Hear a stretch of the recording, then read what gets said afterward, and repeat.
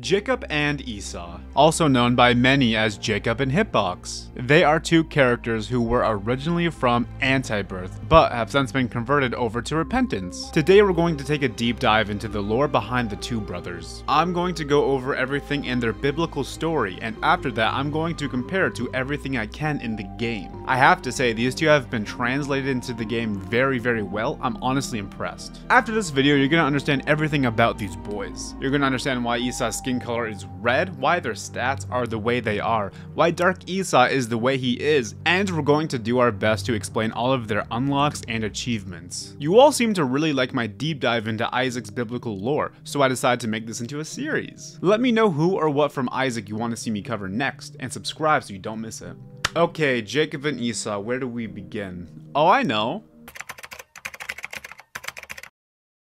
Esau, Okay, now that we're all on the same page, let's get into it. Jacob and Esau are the fraternal twins of Isaac and Rebekah. Now buckle up because this has a very interesting beginning. While pregnant, Rebekah felt Jacob and Esau fighting inside of her womb. She then asked God what was happening and God replied, Two nations are in your womb, and two peoples from within you will be separated. One people will be stronger than the other, and the older will serve the younger. Which is all true, and God essentially spoiled the story. Esau was born first. He came out red, and his entire body was incredibly hairy. Which is why they named him Esau. His name literally just translates to hairy. Jacob was born immediately after. He came out with his hand grasping Esau's heel, so they named him Jacob, which means to follow, to be behind. As you can see, Isaac and Rebekah were very, very creative. Jacob had smooth, hairless skin, completely opposite of Esau. So that explains why Esau is red in the game, and you might be thinking this is why Dark Esau attacks tainted Jacob,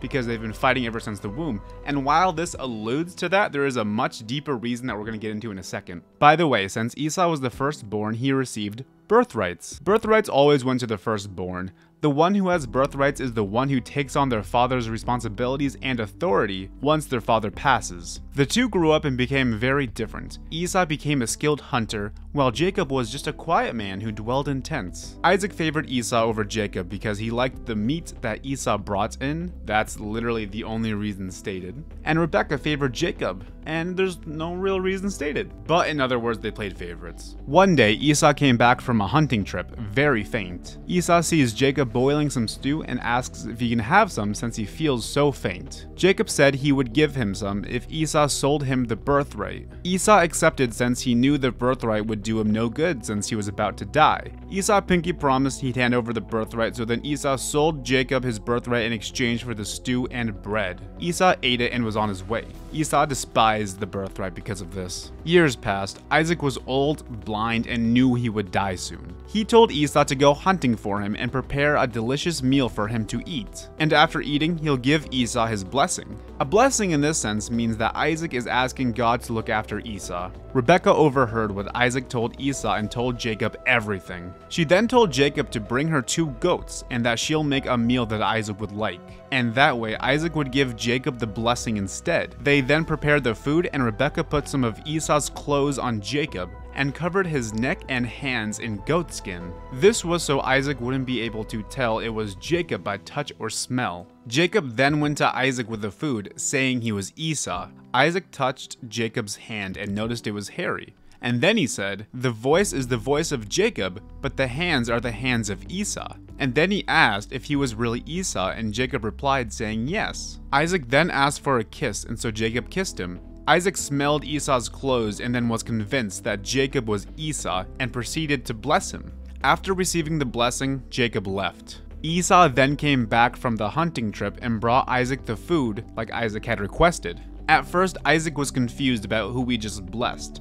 Then they quickly figured out Jacob had tricked Isaac, which made Esau furious. He cried out and asked Isaac if he could bless him too, but Isaac refused and told Esau that Jacob was now lord over him. Esau was now angry that he had been tricked out of his birthright and his father's blessing. He then says, The days of mourning my father are near.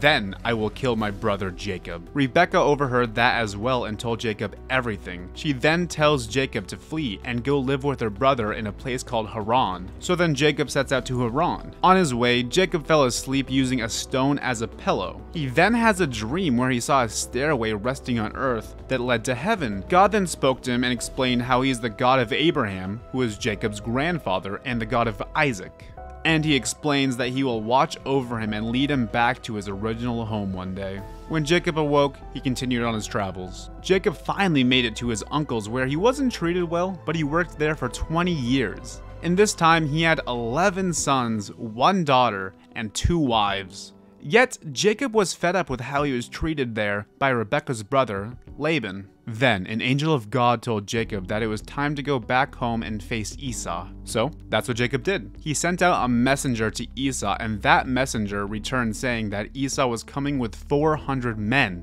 which Jacob interpreted as Esau was bringing an army to kill him. So, Jacob prayed and sent Esau's gifts in the form of a lot, a lot of animals. One night in Jacob's travels, he was left alone, and out of nowhere, a mysterious man came up and wrestled him until morning. The mysterious man then realized he couldn't win against Jacob, and then he touched Jacob's hip and broke it. And then he asked to be freed. Jacob said he won't let him go until he blesses him. The man says, Your name will no longer be Jacob, but Israel, because you have struggled with God and humans and overcome. And then he blesses Jacob. The name Israel roughly translates to Prince of God, he who wrestled with God. The man then leaves Jacob and continues on his journey to meet Esau, now limping. Jacob eventually saw Esau coming with his 400 men.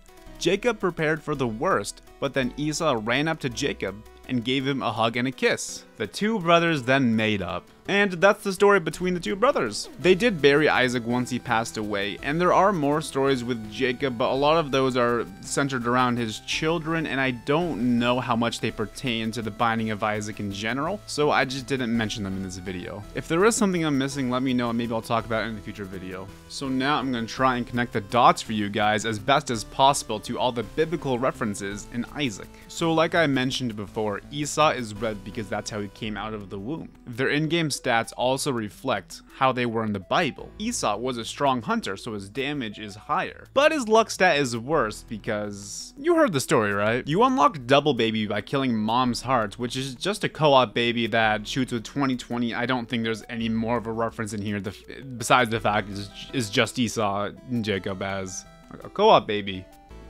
The stairway is unlocked by killing Isaac. This is an obvious reference to when Jacob was on his way to Haran and fell asleep and had a dream about a stairway coming down from heaven. This item was originally called Jacob's Ladder in Antibirth, but it was later changed to the stairway so people didn't confuse it with Afterbirth Plus's Jacob's Ladder. Red Stew is unlocked from killing Satan, and that Red Stew is in reference to when Esau sold his birthrights for Red Stew. Birthrights is unlocked by killing Blue Baby, and I'm not even going to explain the reference here because if you don't understand the reference to Birthright, you just haven't been watching the video. Damocles is unlocked by defeating the lamb, and for this one, I'm just gonna read straight from the Isaac wiki. The item's appearance and effects are a reference to the Sword of Damocles, a story in which Damocles frequently praised King Dionysius, uh, uh, his life of wealth and luxury, and offered to switch places with Dionysius on the throne for a day to have a taste of his power. Damocles accepted only to find